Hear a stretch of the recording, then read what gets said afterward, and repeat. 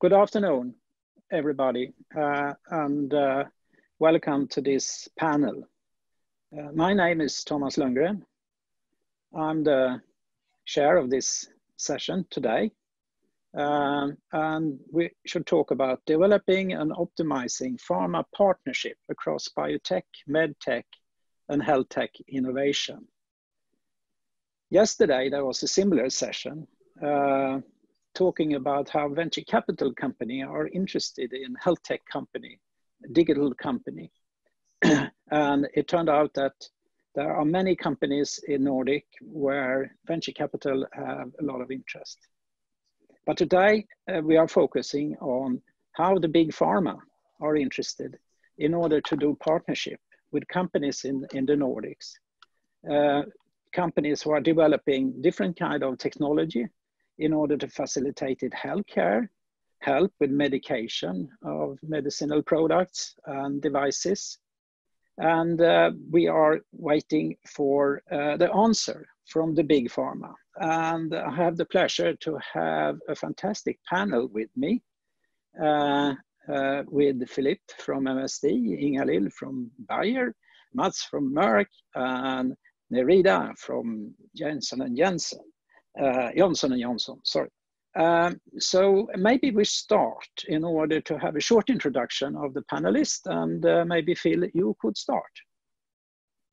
Yes. Good afternoon, everyone. My name is Phil L'Huillier. Um, I head up the business development team for Europe for MSD, or uh, Merck & Co, as we know it in the U.S. and Canada. Um, I've got a team based in, in London that covers the geography of Europe and the Middle East, and our primary role is looking for opportunities to uh, uh, add to and augment the pipeline for us. Um, perhaps just uh, one example of our discovery, development, and commercialization capability and prowess is in the oncology space, where in 2014, we got our first approval in immuno-oncology. And since that arguably, we've become one of the leaders in the IO space, and perhaps now through our broad range of partnerships and in-house programs, also a leader in the oncology space. So, just one example of of our development capability. Ingalill. Oh, hello, everyone. Uh, so I'm Ingalill Hyltander uh, from Bayer, Uh, and I'm currently working as a commercial operational director in Bayer Pharmaceuticals in the Scandinavian region. Uh, so in that role, I'm responsible for uh, all external collaboration, and that means collaboration with medtech, also with biotech, for all brands that we are are covering. Um, um, Um, that has been resulting in a lot of uh, uh, collaborations um, uh, within a very short period of time. We see this as a great opportunity, and we are also encouraged from our global organization to try to establish even more collaborations, both, as I said, in medtech and in biotech. Thank you. Mats? Mm-hmm. Hello, everyone. My name is Mats Berggren. Uh, I have a global role at Merck, uh, where I lead the Digital Business Innovation Lab that uh, works across the healthcare business of Merck, where we work directly towards the board of directors in the company. And for us as a global technology, science and technology company, you know, this sort of environment is very intriguing to see how we can combine our scientific knowledge and curiosity in the fields where we operate. Can be like multiple sclerosis, immuno-oncology, fertility, with the sort of new new uh, digital opportunities uh, that open up as the whole planet goes uh, live. So our role is to look at new business models, new services, and new collaboration opportunities. And I will also mention some of those that we're actively pursuing at the moment. Thank you.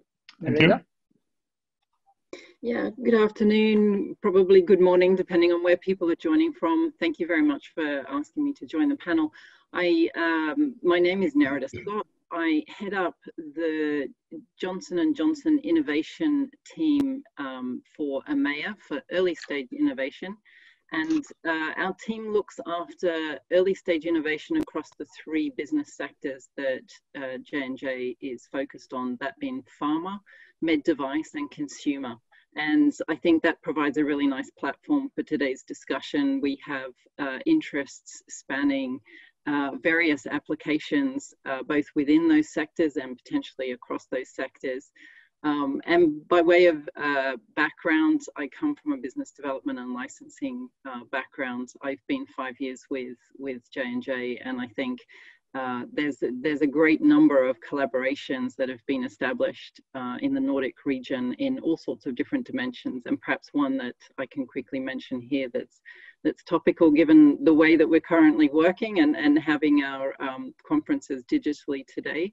Uh, but we have a very significant collaboration with Bavarian Nordic on their MVA platform in combination with our AD vaccine platform that has just generated very recently in July um, EMEA approval for an Ebola vaccine. And that's the same vaccine platform that we're working on for a COVID-19 vaccine as well um, and many, many more collaborations. We can we, we can't talk about all of them in the public domain, but I think it's a fantastically rich area for early stage innovation, both in terms of healthcare and digital applications, and really looking forward to the discussion. Thanks.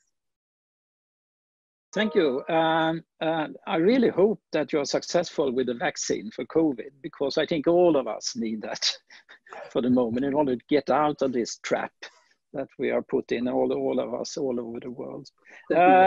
So, some words about uh, the moderator, myself. Um, I'm the former executive director of European Medicine Agency. Um, I was there 10 years and I had a pleasure to build up the organization to more or less what it is today. Um, now these, these days, I divide my life in two parts. One is regulatory consultant for the NDA group, and uh, NDA is very happy with the collaboration with LSX um, in order to help them to run this uh, conference. Um, my other part of my uh, life, I'm spending uh, as a board member and uh, advisor to companies and specific company who are involved in the area of digital health wearables. So I have two board positions in companies in Australia, one in incontinence with a device, and one in Parkinson uh, with a device in order to monitoring the Parkinson disease and also monitor the medication of Parkinson. I'm also a part owner of a company in Sweden, Scientific Med, who are developing an app in order to support patients in oncology treatment. And I do believe we have a collaboration with Merck on this.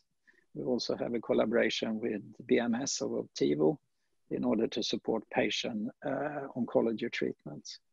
I'm also board member in a new company uh, in uh, depression, uh, uh, and we are developing psilocybin for treatment-resistant depression. And uh, we are also, in combination with that kind of treatment, interested in order to develop a digital tool in order to support the medication. So I have a lot of involvement in innovation, digital health, through my board position and so on. So I'm um, looking forward to, to this panel. Um, so we have decided that we should divide this in the life cycle of, of a medicinal product from a pharma perspective.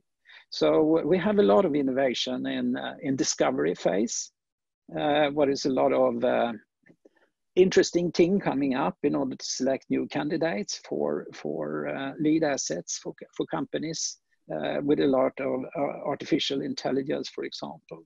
Also in late stage development, there is a lot of tools that could be used uh, with different kind of biomarkers uh, from a tech, tech point of view that could help the pharmaceutical company to develop new drugs, do clinical trials.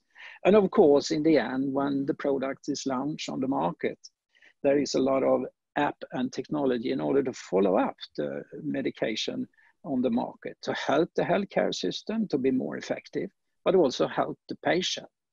And the question is, of course, for this panel, how well are pharma prepared in order to take on board this innovation? And I think the first question will go to Phil uh, in order to look in how do big pharma and biotech company using digital innovation in the discovery phase of development. And please, could you give some very good example of what you are doing at MSD in this? Phil, over to you. Yes, thank you, Thomas. I'm happy to start and, uh, and uh, make some introductory comments on this question. Um, you could say in the discovery phase, traditionally we've started by trying to understand biology and use that biology um, to elucidate how the biology is affected in disease, and then take a single target approach to discover molecules in the discovery phase and move them forward into development. And of course, we've been very successful at doing that in with drug targets such as kinase and GPCR targets. You could almost call those low hanging fruit new innovative approaches is really important now as we take on um, undruggable targets and we try to understand the biology of disease um, and and link new targets to, to new biology and uh, and to disease pairings. Um, two examples of, of, the sorts of things we're doing in the, in this space.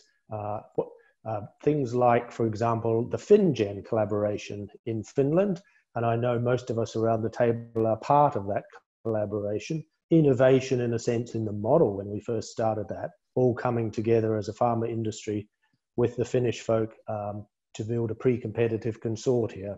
And of course, as uh, people that are involved in that will know, it's a pre competitive consortia with the University of Helsinki, the Finnish biobanks, and the Finnish government. Um, as you can suggest, as you can understand from the name, it's focused on using human genetics to understand target biology and identify novel targets to move forward. Another area that we, um, and I think others are doing um, in a similar way, is u- utilizing the AI machine learning approaches. There's quite a number of uh, companies, biotechs now in this space, really bringing together global data sets, curating global data sets using algorithms AI and machine learning to generate, I'll say, digital associations between targets and disease. And then th- using those digital approaches, we then take those on to, validate targets. We have a number of uh, collaborations, some of those not in the public domain in that area, looking to use the digital approach to identify targets and then bring them into the wet lab setting for, for target validation. And then, of course, there are others in this the space that are using this type of approach in more a chemistry driven way, uh, optimizing molecules. And one example uh, of that is uh, a company actually in the UK, Exscientia, who are using an AI approach to drive chemistry optimization in the discovery phase. Um, let me stop there and provide an opportunity for panel members to add other examples. Yep. Yeah, I suppose there are, are, are uh, a lot not only MSD uh, are using this. so please, Ingalill. Uh, so um, um, uh, I will just continue with, with the comment about the uh, the importance of these collaboration, uh, and I will move then a uh, little bit uh, to a later stage, because we all know that the the development of digital innovation they're more or less uh, exploding. And, and as a global uh, pharmaceutical company, you can't possibly be on top of everything when it comes to, to this kind of, of development. Uh, so um, I think it's competitive advantage uh, if you are able to create uh, collaboration with both with medtech and, and biotech uh, companies I think it's also we need to uh, to um, look a little bit into the future with the demographic uh, development, development of, of costs uh, for the healthcare system. We I think we are all planning to launch new and innovative products, maybe precision medicine, with, which will increase the cost tremendously. Uh, and uh, I think that we uh, need to be uh, to take uh, more responsibility and to contribute a bit more uh, when it comes to to partnership and when it comes to to what industry can contribute with in order to get our products uh, reimbursed uh, to the price that, that we uh, that we would like to have. Uh, and that's where where I think that the the external collaboration uh, will come in as a great support. For instance, with prevention program, uh, before we start the medication, with different kind of follow-up programs after we have initiated the medication. Uh, and if I can uh, continue right now with, uh, with comments about um, how we introduce uh, could, could, could, uh, Ingalill, could I go back to the question? Yep. We, because we were still on early development with Phil's yep. comments, and Phil asked for feedback from, from uh, the rest of us. Um, uh, is there any other feedback from Nerida and Mats on, on the early development? An example from your company where you have yeah. gone in and worked together with, uh, especially partnership with uh, companies in the Nordic area? Yeah, so I think we're building on Phil's example, maybe from the FinnGen, because I think those kind of data sets provide a really rich environment that generate huge numbers of opportunities. And I think to Ingalill's point about trying to use these data sets to help with prevention, I think there's fantastic examples uh, stemming from the use, for example, of FinnGen. And, you know, one of the ones that we've been involved in is trying to look at type 1 diabetes, which has a really high prevalence rate in Finland at, you know, one in 100 children. And obviously diabetes is a hugely um, a challenging disease to manage from a patient perspective, but also from a healthcare uh, cost perspective. And I think the initiative that we're looking at with that data set is trying to understand better what the disease progression pathway looks like and trying to be able to intercept very early and try and avert or delay the onset of the disease. So it, combining a whole bunch of different technologies, you know, the data set around the genomics, being able to identify patients and bring them in, and then be able to monitor them over a very long period of time. Uh, we have a, a, a digitally smart uh, diaper that the children wear that helps try and uh, measure uh, precursors um, in, in the urine uh, to try and then alert the parents when there's any uh, early stages of diabetic ketoacidosis, for example, that can help bring the medical profession to the patient at the very earliest stages. And I think that whole uh, piece around being able to use data and health tech in, in looking at population studies and progression um, biomarkers and being able to try and then pinpoint and predict, use that data in the future to predict who's going to be the most susceptible and pull them out early, I think has huge potential value. And I think there's, you know, J&J's, you know, spending huge amounts of, of time and energy trying to look at that defined world without disease and actually not wait till people are sick but try and intervene earlier. So i you know want to provide opportunities for other people to to contribute too but i think there's fantastic examples in the nordic region where those data sets are very rich and they're very longitudinally um, robust which is essential to be able to try and make a real difference in this space. I can make uh, one comment there. I mean uh, what is really intriguing in, in this uh, space, where, where, as you mentioned, it becomes very data rich, is, is that we don't only have the, the biology data, biology, but basically we have like uh, uh, data in a, in a continuum uh, in all the places that will sort of guide our research. And to that end, uh, Merck has a number of collaborations with Karolinska where we look at the, the sort of the, the biology data sets, but but also from the from the from the from the different registries that are out there. But then also what is really fascinating how that, that can be also combined in a disease like multiple sclerosis with imaging technologies and so on. And to, to that end, uh, I think we're approaching uh, going from this sort of linear approach where we talk, have that sort of value chain where the data is more in, almost in a sort of a circular mode as we sort of approach this to, to solve very tricky scientific problems. And uh, there, there I would say that biology is perhaps the most tricky problem uh, to, to solve, and uh, it can also give uh, surprises that are expected or not expected. But uh, so yeah, but definitely I see the the Nordics uh, as a sort of good environment for or uh, leveraging the data in sort of uh, this circular way? Okay, uh, so we're talking a little about early development and, uh, and discovery phase. And uh, what about applications that are coming in uh, during the late development, uh, certainly during the clinical trials? Uh, so what kind of innovation do we have there in order to facilitate clinical development of a new drug? And Nerida, maybe you could continue on that.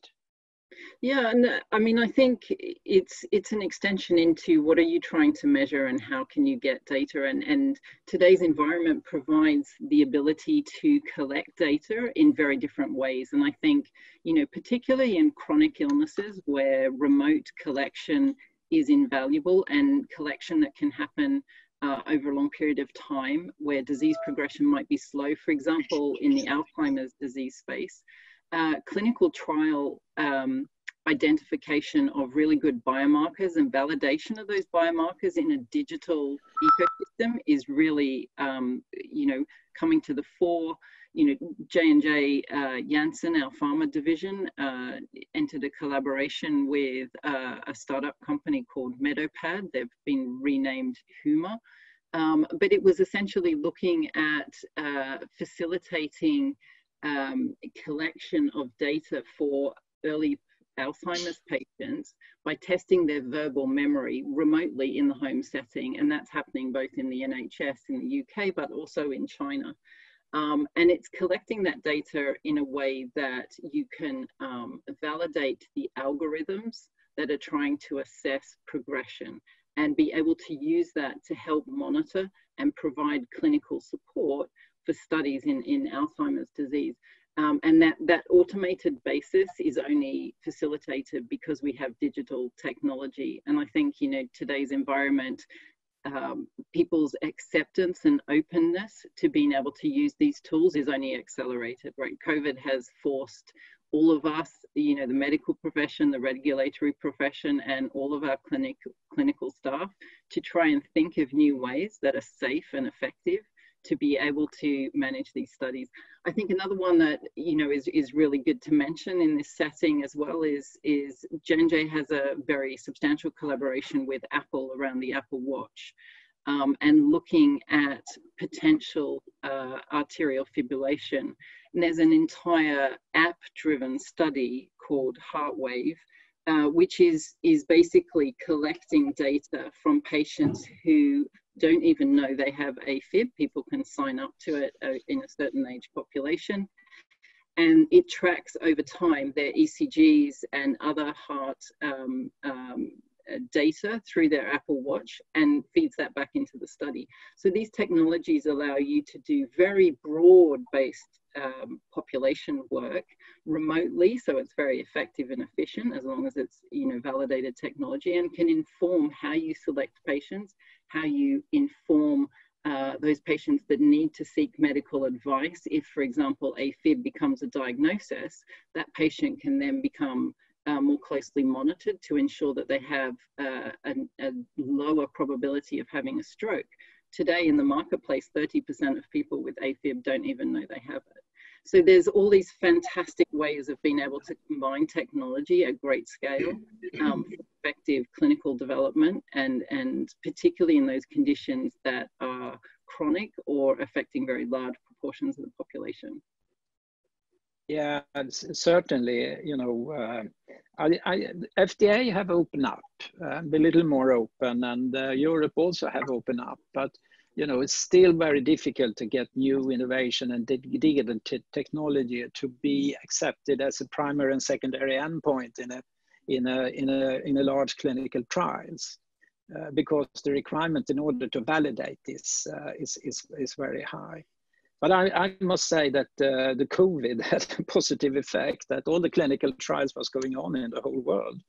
Uh, the regulators have to look at it in a different way because you know, uh, they started to allow remote monitoring, uh, home monitoring, uh, home home uh, applications.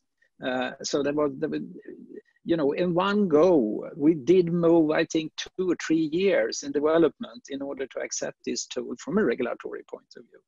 So, so, so, so that is a positive effect, I think, of the COVID-19 uh, nine uh, mm. coming up. Um, so, any other comments on uh, what what we heard here just now? Mats, you seems to be. I have one comment there, and I believe the whole sort of setting about clinical trials could be on the way on a, tremendous shift where this sort of also value chain is about to change. I mean, you mentioned Thomas how the regulators are sort of uh, looking at how to take these new endpoints uh, and digital biomarkers and Rita mentioned on board. But that also opens up, and this is important for, for new players to work uh, with uh, these types of, of uh, uh, virtual clinical trials. And I believe we see a new actors enter there, like online doctors, pharmacy chains that are all sort of leaving their their physical setting, moving into the sort of digital setting. So, so uh, I believe that the whole sort of value chain of clinical trials is, is about to rapidly change. And to that effect, also that uh, that uh, the data generated will be sort of uh, fresh and on the go, not a, a snapshot that uh, something that uh, we did uh, to prove efficacy and safety along 10, 5, 5 10 years uh, back. Yeah, so clinical trials will be on the go. Let's see if that holds true a few years onwards.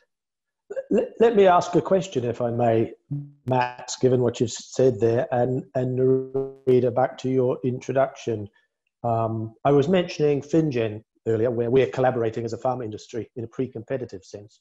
If the clinical trial environment and the data sets change, or the clinical trial environment changes and the data sets get larger, uh, more digital approaches, do you see us as an industry collaborating in the late development phase, like just as one example of collaboration, we are pre-competitively in the very early stage?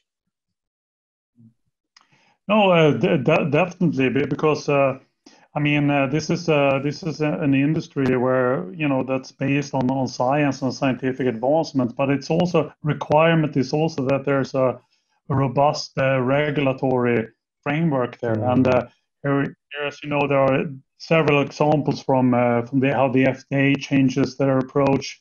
We see the same in Europe, but also in, in um, how national legislation is also looking in a different uh, way of that. And of course, a lot of it is also propelled by by by COVID, and I believe definitely that uh, as an industry we should uh, sort of uh, approach this and uh, and to see to sort of see how how can we sort of develop this in partnership with uh, the regulatory authorities and the different bodies to sort of open up uh, these possibilities because I believe that's the the way the way ahead if we want to advance uh, the lives of uh, millions of people in a, in a new uh, but positive way.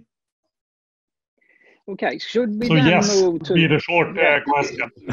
yeah, that's yes. Should we then move to uh, more or less uh, talking about the commercial stage when when we have launched a drug on the market or we have launched one of these innovations for you know in a commercial way in the market? How does that look, uh, Ingalill? You, you, um, you, you, you have a special look into that aspect. Yeah, so I will then move for, for early stage uh, collaboration over to hands-on and real life uh, example, and I will give you a couple of them. Uh, and I agree with you, Thomas, to your point that uh, the COVID-19 situation really and made us very much aware of the need for a digital solution. And I think that also uh, the healthcare system, at least here in Scandinavia, became uh, extremely much aware and, and took a, a, giant leap into the future. So uh, what we have done uh, in an early stage of, commercialization is the first example uh, I will mention is a digital heart monitor uh, named Coala, uh, which you can use for detection for AFib. So Nerida, I will continue to discuss the AFib monitoring and the importance of it. Uh, so you just put the, uh, the monitor on top of your heart and the information will be stored in a cloud, could be downloaded by your specialist like a cardiologist or your GP and you don't need to actually see your healthcare professional in order to, uh, to be diagnosed. So when we started this collaboration, this was uh, just for the private market and no activities toward the healthcare professionals. And the cardiovascular market is, of course, of great importance for us. Uh, so when we established the, this collaboration, we were able, based on, on uh, our partnership with Coala, to offer something on top of our medication to the healthcare providers and the healthcare system. And Coala uh, were offered actually to, to be promoted by our sales and marketing department.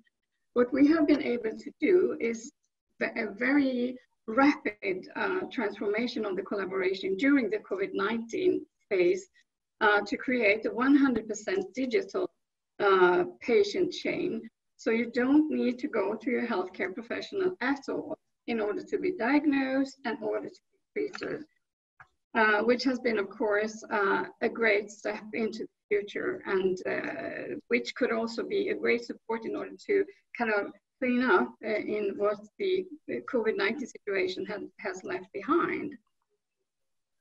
Uh, another situation could be that you are in the pre-launch or pre-commercialization phase of a medical device that needs to that needs some additional validation, uh, where we can. Uh, when we started a, a, collaboration with a digital pillbox uh, named Pilloxa, uh, this pillbox uh, is, is functioning very much like Coala. So you are gathering all the information in the cloud. You will be reminded if you forget to take your pill.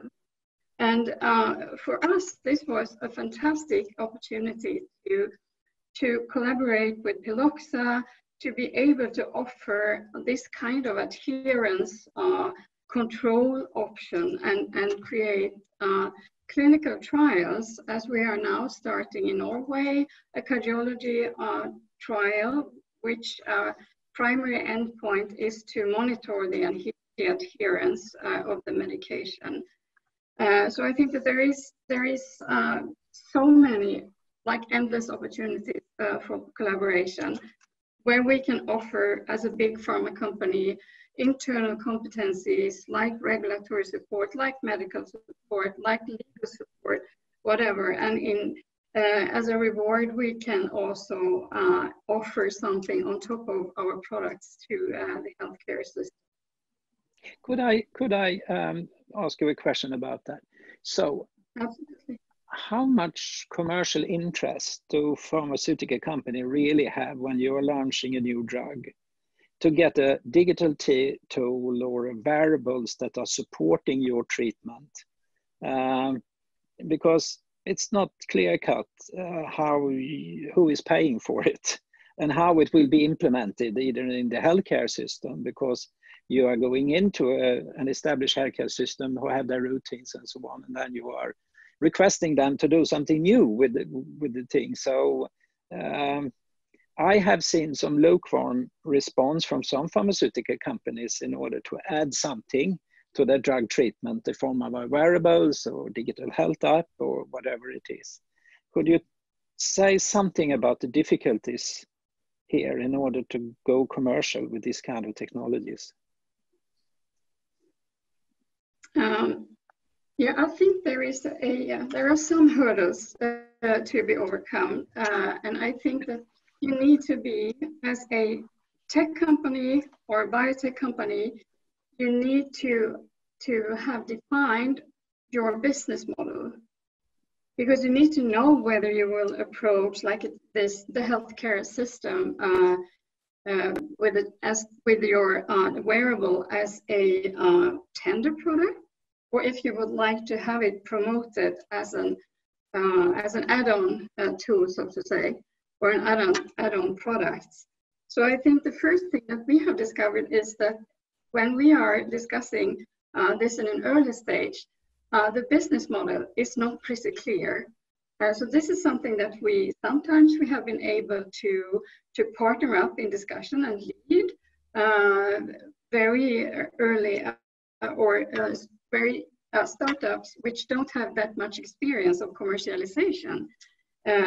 so this is this is number one. And then also that we need to stick to certain regulation in the pharmaceutical industry. You need to behave in a certain way, you need to stepwise introduce, you need to be really careful about the regulation of what you can do and what you can't do. But this is something that, that I, we have experienced that, that it, you can really solve it if you work together, but it's not a quick fix. So you have to be, be patient in order to, to achieve the result that you would like to have. Okay. Do the rest of the panel have any experience here? Yep, Thomas, perhaps a, perhaps a comment because I think um, it, it it is, you know, to Ingela's point, it, it's a challenge for the business model, right? It's not a pill in a box. And I think as as the data becomes more available and as it's able to demonstrate to um, patients and payers why it's adding value to the healthcare system, I think it find its own path. So there's, you know, there's the sort of the birthing pains, if you like, of a new way of working. But I think over time, they will become more and more standard that if you're bringing a treatment, that you will need to demonstrate which patients it's going to have the right effect in, that it's going to be safe, that you can actually pinpoint which patients uh, shouldn't be taking it because of potential safety effects. There's all sorts of ways this data, you know, and real world evidence that's been collected can impact how a product delivers value. But at the end of the day, the industry and, and healthcare companies will get paid for delivering solutions to patients.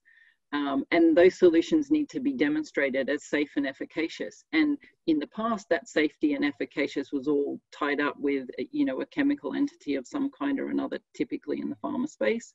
Um, but in the future, it will be combined with data analytics. And I think knowing which patients, how they're going to respond and being able to predict to improve both efficacy and safety will become part of the normal operating procedure.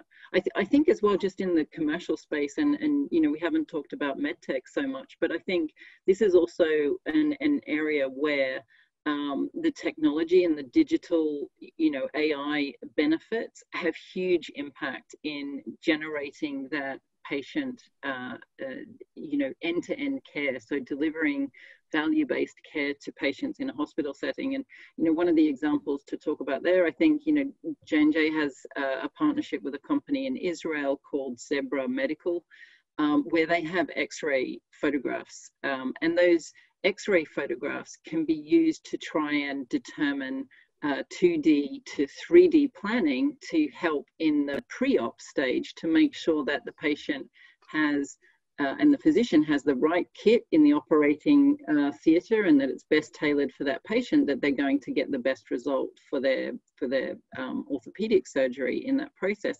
That's a new way of, of looking at data that adds to the streamlining and effectiveness of patient treatments that wasn't that wasn't there before um, so it's not necessarily a defined item that has a price tag attached to it, but it generates better patient outcomes. And I think you know there's there's many many applications in the medtech space in in robotics, being able to use digital information and guidance that helps improve surgeons' uh, success rates more globally uh, where otherwise it might, you know, that, that success rate and that experience might reside very predominantly in a, a, smaller set of surgeons who do a high number of procedures. How can you train and teach and how can you take that technology to other surgeons who have then the potential to perform really robust um, uh, operations that have that that digital and data science sitting behind them that helps guide their surgery process. And so i think that you know there's fantastic opportunity. I think at the end of the day the industry gets paid for delivering good outcomes for patients. And you know it's our job to find the right way to demonstrate that and to create that value and and make those arguments. So um, I have been consulting a lot of companies, uh, both in, in, in, Scandinavia and in the Nordic, but uh, been focused the last five years in Boston and Cambridge, and I've been talking with probably 50, 60 small biotech companies, and um, I've, told them that you know there are digital tools here in order to complement your drug treatments, uh, but they don't have the resources, they don't have innovation office, they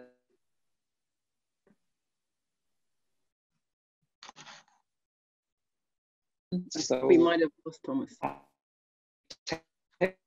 Yeah, drive this pharma. I drive. So I, I think we lost Hello. Thomas. Th- Thomas, you're breaking up. Oh, sorry. Okay, I'm fine. That's be- Yeah, That's you're back better. again now. Yep, fire Yeah. away. Your Far away. company's in Okay. Cambridge, yeah. So, oh, sorry. Yeah, my companies. Uh, there were small biotech companies who certainly could have um, uh, an opportunity in order to add an innovation and digital thing to their drug development, but they don't have the resources. It's too complicated. They just want to do their clinical trials, get FDA or EMA approval, and then on the market. So I'm happy that the big pharma have put a lot of emph- emphasis into that, and uh, you all here, four of you, represent the innovation office uh, in big pharma who are putting money in. So I think it will be the big pharma who have the opportunity and the possibility to drive this development.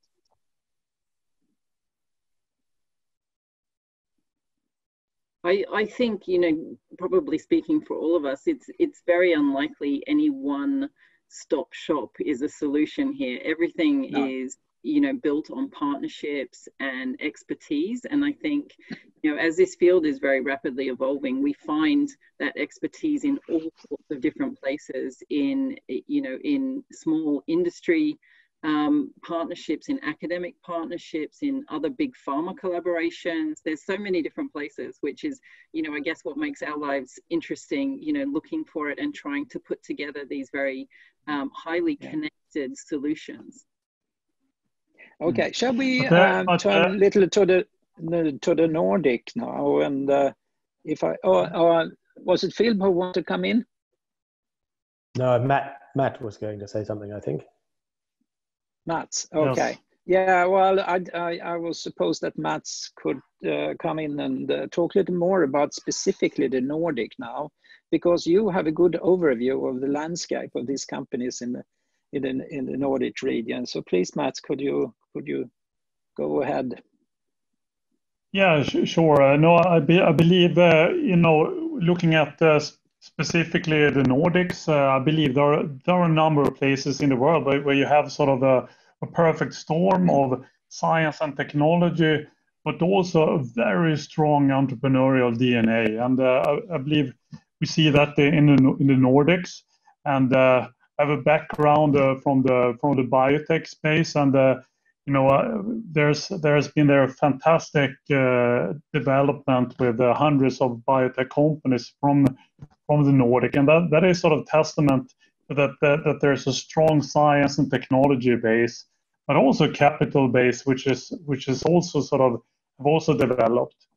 Uh, so I mean, uh, and I, I think we start to see the same in the digital uh, health space, where we sort of uh, see a lot of companies that are, that are following uh, these uh, new trends. And uh, for instance, uh, there are uh, unicorns like Natural Cycles who have sort of reimagined what the contraception is by, by launching the first digital contraception and sort of getting it through not only the EU but also the FDA. But also in the process, they're looking at how can we sort of understand more about fertility as well, and that, that these things are sort of very intriguing for for uh, for Merck as a, as a company to look at these uh, things. And uh, we even uh, work also with a company in the US uh, that uh, sort of launched the first uh, Akili, the first game that that is approved by the FDA to treat ADHD.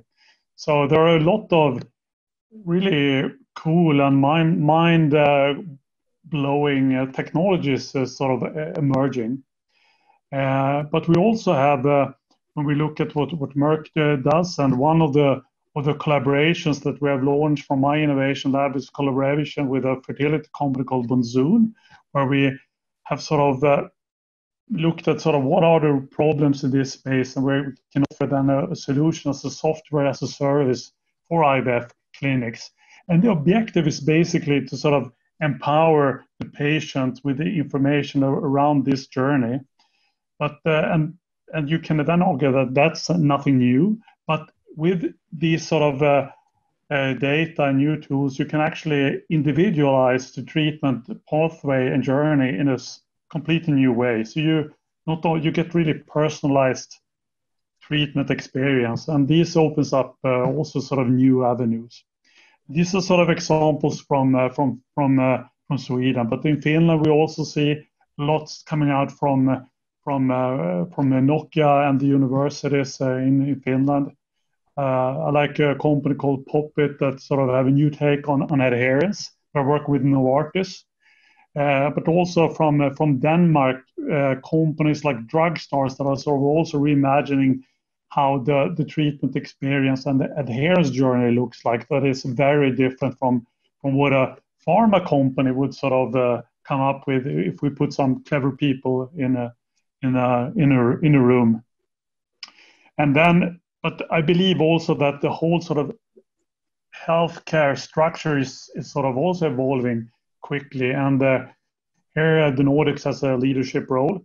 Uh, and uh, we just look at what's what's happening now with the online doctors. If you look at the five most downloaded uh, online doctor apps in Europe, three out of those are are actually from Sweden. So, and these are sort of a, I call them sometimes digital Vikings. You know, uh, you have great technology, uh, a sense of urgency and entrepreneurship, and go off to distant shores uh, to do business. And uh, and uh, and uh, this uh, links then into what, what we discussed earlier. That I believe uh, the hard part is, is we have the technology today. There also has to be receiving a customer that sort of is willing to pay for it, and that is also starting to shift. And uh, one interesting example is Germany, where they have sort of made a jump start over the last year to sort of start, open up a third reimbursement pathway for digital health applications. And this is a sea change in one of the world's largest economies. So, and, uh, and now a lot of companies from the Nordics are looking at this opportunity to, uh, to, uh, to launch there.